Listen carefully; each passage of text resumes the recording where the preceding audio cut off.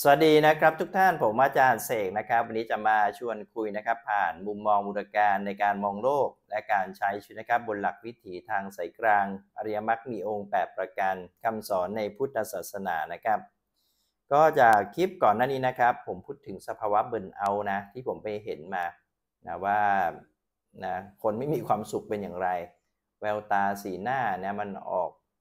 มาให้เห็นนะ ถึงแม้จะมีทรัพย์สินเงินทองมียศตำแหน่งเนี่ยนะแต่ความสุขไม่มีนะแต่ว่ามองไปในคนที่ไม่มีซอเบิร์นเอาเนี่ยนะมันก็มีความสุขได้ง่าย ๆ มีความสดใส มีความหวังนะวันนี้จะมาชวนคุยกันต่อนะครับ ถึงเรื่องวิบากกรรมความทุกข์นะครับ จากการติดกับดักหนี้สินนะครับ คือคนยุคสมัยนี้ต้องบอกว่าหลายคนนะทำงานหาเงินเนี่ยก็เพื่อที่จะไปกินเที่ยวเล่น พูดง่ายๆคือความสุขอะ่ะ นะพอเริ่มต้นนะครับทำงานนะจันทร์อังคารพุธพฤหัสเนี่ยนะจะมีสภาวะที่รู้สึกว่าไม่สดใสเลย แต่ต้องทน ทนเพื่ออะไรครับ ทนเพื่อหาเงิน แล้วพอไปสุดสัปดาห์เนี่ยนะพอเย็นวันศุกร์เนี่ยโหรู้สึกเบิกบานสดชื่นขึ้นมา โดยฉับพลันเสาร์อาทิตย์นี่ก็เอาเงินไปใช้นะให้มันอิ่มหนำสำราญกินเที่ยวเล่นนะเพราะฉะนั้นสภาวะแบบนี้เนี่ย นะก็เรียกว่าทำให้คนเนี่ยนะเสพติดนะในเรื่องของเขาเรียกว่ากินเที่ยวเล่นนะการมาสุขกันเนี่ยนะได้มากทีเดียวโดยเฉพาะนะสมัยเนี้ย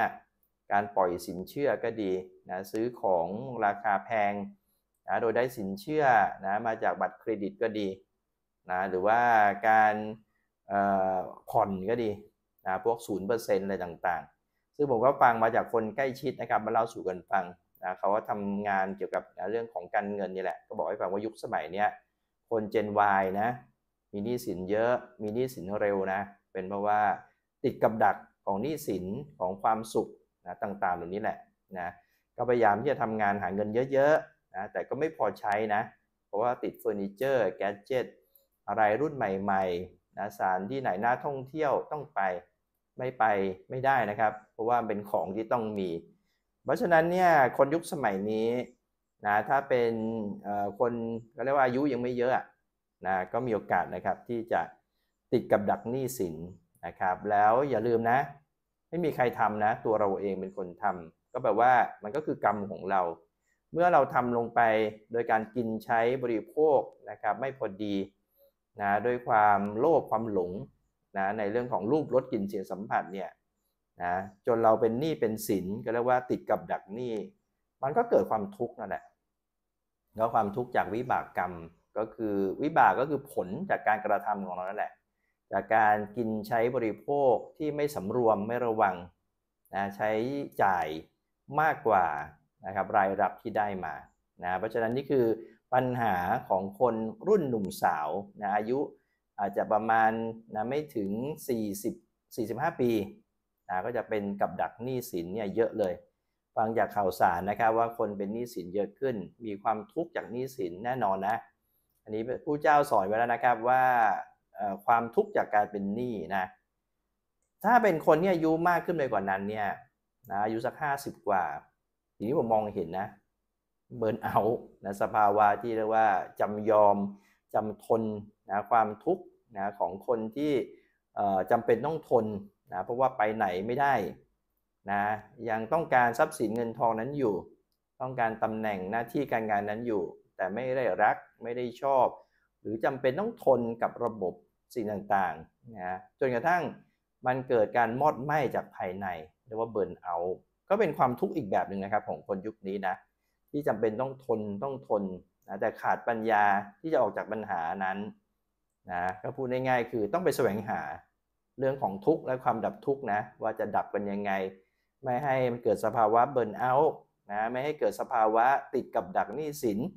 นะหลายคนเลยพยายามจะหาเงินเยอะๆนะเพื่อไปเสพความสุขนะก็คืออลืมความทุกข์จากวันจันทร์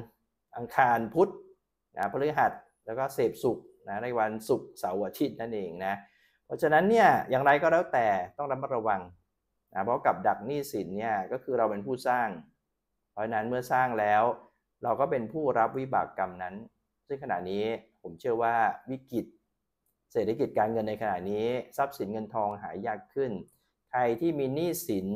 นะครับอยู่ปริมาณมาก ๆ ไม่สามารถหาจ่ายได้เกิดความทุกข์แน่นอนนะตามสิ่งที่พระเจ้าสอนเลยนะครับ เพราะฉะนั้นเนี่ยนะจึงเตือนกันแล้วกันนะว่าถ้าเกิดใคร ติดกับดักหนี้สิน เจอความทุกข์จากการติดกับดักหนี้สินเนี่ยมันก็เป็นวิบากกรรมของเราเองนะเราต้องรู้จักปล่อยรู้จักวางนะครับ หรือต้องรู้นะว่าบางทีต้องเสียก็ต้องยอมเสียออกไป ไม่ว่าจะเป็นเสียบ้านนะเสียรถยนต์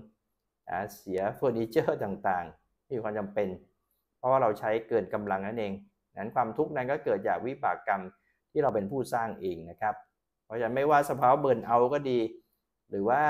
ทุกจากกำลังหนี้สินก็ดีนะก็แก้ด้วยปัญญานั่นเอง ก็คือการมองเห็นตามความเป็นจริงนะครับของสิ่งที่เกิดขึ้นรอบตัวนะครับ แล้วเจอกันใหม่คลิปหน้า สวัสดีครับ